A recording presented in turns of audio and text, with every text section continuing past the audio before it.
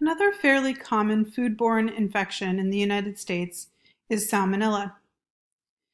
Salmonella can cause a variety of different ailments, the first of which we'll talk about is salmonellosis. Salmonellosis is a type of illness acquired from Salmonella species of bacteria, like these type pictured here. You may already know that Salmonella is acquired through meats such as chicken, eggs, seafood, and unpasteurized fruit juice. Fresh produce has also increasingly become a source of salmonellosis. This includes things like lettuce, raspberries, tomatoes, cantaloupe, pre-cut watermelon, and alfalfa sprouts. One of the more deadly incidences of salmonellosis in recent times was from cut up fresh cantaloupe. In addition to being found on various food items, salmonella can also be acquired from reptiles, including those kept as pets. Salmonella can be acquired from iguanas and a variety of lizards, snakes, turtles, and even guinea pigs, which of course are not reptiles but can still carry salmonella. This is especially important in families with children who like to handle these types of pets. Because children do not have high immune systems, they can be especially impacted by salmonellosis. This connection between salmonella found in reptiles and salmonella found in chickens, eggs, and other birds is interesting because these organisms do have common ancestry. So a bacterium that grows very well and asymptomatically in birds would, not surprisingly, also grow really well and asymptomatically in reptiles as well. Once they get into mammal hosts, on the other hand, they can quickly lead to disease. Another type of salmonella that does not cause salmonellosis is Salmonella typhi. As you can hear from the species name, Salmonella typhi causes typhoid fever. This organism survives in water plants, sewage, and some foods, but generally is transmitted via the oral fecal route. An individual uses the bathroom, doesn't wash their hands, and prepares food for someone else. This salmonella can also be transmitted by flies and on the surface of objects. Typhoid used to be far more common worldwide than it is today. The reason for this is water treatment and sewage treatment plants prevent a lot of oral fecal transmission. In the early 1900s, typhoid fever was a major killer, with over 20,000 cases occurring annually in the United States. Nowadays, most cases of typhoid fever in the U.S. arrive via travelers who have acquired the disease elsewhere. Remember that typhoid fever was the disease transmitted by typhoid Mary that we talked about earlier in this class. That's because about 5% of people infected with Salmonella typhi are not sick and can exist as chronic carriers throughout their life. Another foodborne infection is shigellosis. Shigellosis is transmitted by a microbe known as Shigella. There are many different species of Shigella, and these microbes are generally transmitted via eggs, shellfish, dairy products, and sometimes vegetables and water. Transmission of Shigella is also via the oral fecal route, much like Salmonella typhi. Again, a lot of times this is transmitted by somebody not washing their hands. after using the bathroom. The infective dose of shigellosis is very low, so it doesn't take many microbes to transmit this disease.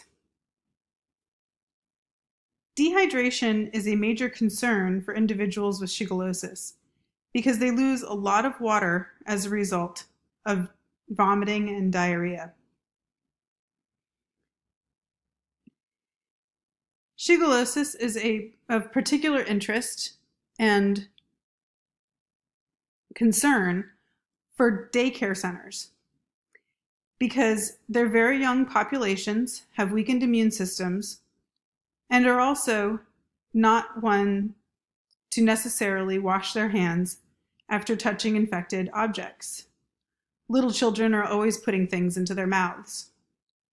This is why it's important for daycare centers to be diligent with hand washing, not just of the children, but particularly of the daycare workers, as well as of many of the toys used in the daycare facilities. More than foodborne infections, we also have waterborne infections. The most important of these, well known, is cholera. Cholera is caused by a microbe known as Vibrio cholerae.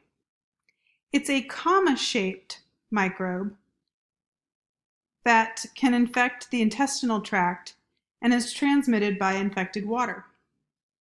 The infectious dose of cholera is really high, so individuals need to ingest a lot of this microbe in order to become sick. However, once ill from cholera, people tend to die from dehydration within a few hours to a few days. That's because cholera toxin causes copious amounts of diarrhea, leading to dehydration very rapidly and death. In untreated cases, cholera can lead to 70% mortality rate, with most people acquiring cholera dying from this disease. Thankfully, rehydration treatments can be extremely helpful, and in developing countries, rehydration treatments have saved many lives. Cholera still pops up around the world today, especially in areas des destroyed by natural disasters such as tsunamis and earthquakes. We saw this in 2010 in Haiti after their earthquake destroyed a lot of their water treatment plants.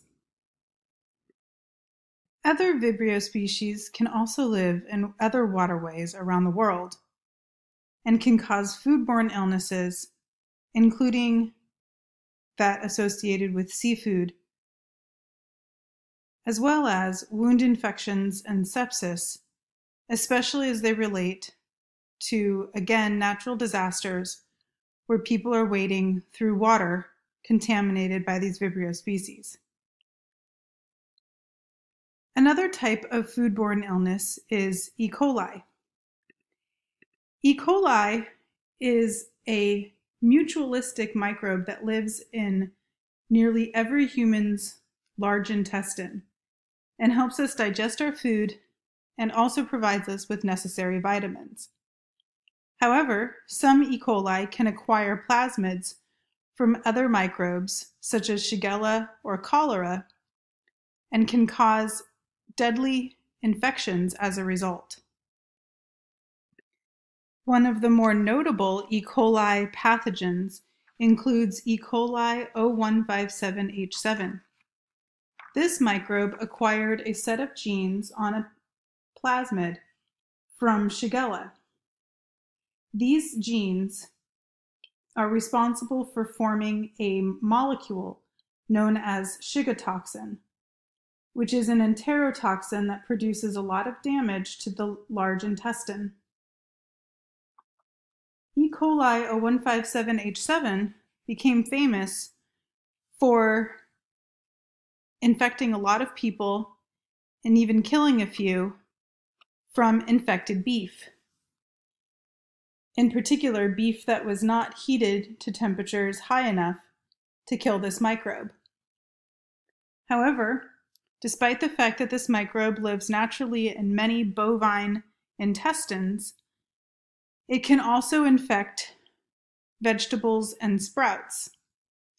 The reason for this is if the vegetables or sprouts are watered with contaminated water that contains feces from these cattle, then the vegetables and sprouts can also contain this microbe and get people sick. In particular, since lettuce and sprouts are typically not cooked, these microbes can survive on these food items and are more likely to get people sick as a result. There are other strains of E. coli that are pathogenic as well. In addition to the E. coli 0157H7, there is a different type of pathogenic E. coli known as traveler's diarrhea that can get people sick around the world. Traveler's diarrhea is also usually acquired by contaminated food or water. Now, while you may have heard of Shigella, Salmonella, and E. coli, you may not have heard of Campylobacter. Campylobacter is the major cause of bacterial diarrhea in the United States today, and in fact leads to more diarrhea and food poisoning illnesses than Salmonella and Shigella combined. This microbe, particularly Campylobacter jejuni, infects and contaminates poultry, cattle, drinking water, and unpasteurized milk. The infectious dose is so small that it can easily cause disease in even small amounts of infected substances. Given its prevalence in chicken and dairy, Campylobacter is one of the main reasons why the FDA and USDA and CDC all recommend cooking chicken thoroughly and only consuming pasteurized milk and cheeses. Another microbe known for infections from dairy products, including cheeses, is Listeria. Listeria can cause listeriosis. In this microbe, in particular Listeria monocytogenes, can infect many different sources of agriculture and farming. It can be found in deli meats, hot dogs, soft cheeses, milk, ice cream, and even fruits and other food items. Listeria generally does not cause disease in healthy individuals, but is much more common to be causes of disease in children and particularly pregnant women who are 20 times more susceptible than non pregnant women to this microbe. Once a pregnant woman is infected with listeria, she can become severely ill and even die. This microbe doesn't just affect the woman, but can also affect the developing embryo or fetus, leading to miscarriages and stillbirths or birth defects. The reason why this microbe is so commonly found on deli meats and soft cheeses is that it grows really well at colder temperatures, unlike most other microbes. So in the refrigerator, if it is found on these different food items, it can easily grow to deadly numbers. Listeria is becoming more and more commonly found on other fruits and vegetables, however, as was evident in a 2011 outbreak on cantaloupe that led to 30 deaths in the United States. Frozen vegetables can also harbor this deadly pathogen.